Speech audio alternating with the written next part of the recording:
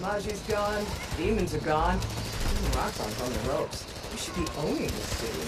Sounds like you want to make a run for leader, now that Tinker is gone. No,